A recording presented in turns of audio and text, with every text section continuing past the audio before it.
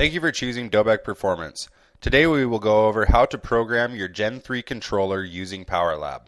Before we start, you'll need a PowerLab account, a Dobeck Performance Gen 3 docking station, and a USB to printer cable. First, log into your PowerLab account.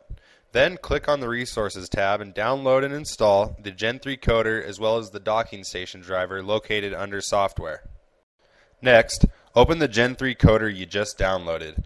Connect the docking station using the printer to the USB cable. Once connected, wait one minute before programming after attaching the USB cable. This allows initialization of the programmer.